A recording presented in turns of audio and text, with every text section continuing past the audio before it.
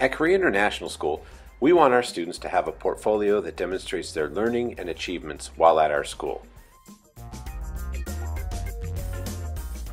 Many students begin developing a digital portfolio in third grade.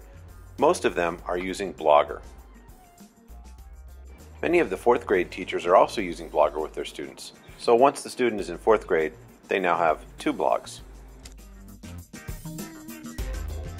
And all the fifth grade teachers are currently using blogs with their students. In grade 6, many students have three teachers who are using Blogger as a learning tool.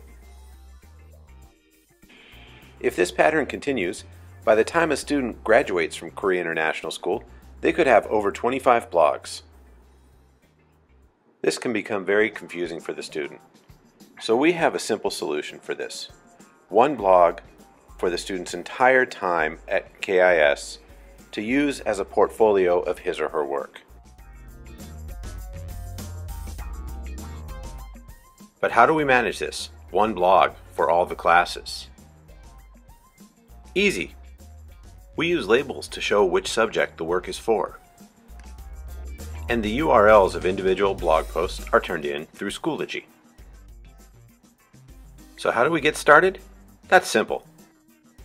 Come meet with a member of your ed tech team and we'll help you help your students demonstrate their learning in their digital portfolio on Blogger.